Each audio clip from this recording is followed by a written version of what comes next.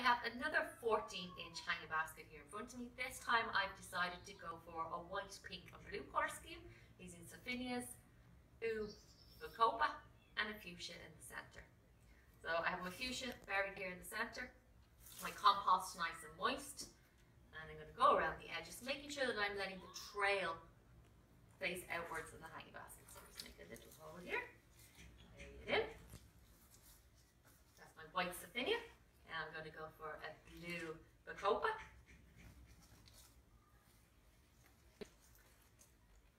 I'm going to use about three Surfinias because these are quite big. What's important when you're doing your hanging basket is clean your plants as you go. So if you see anything that needs to be pinched back or any dead heads, remove them before you plant it in the basket. Another blue Bacopa. And then the last one that I'm going to include here is my blue Surfinia. I absolutely love this. The smell is to die for, especially in the evenings.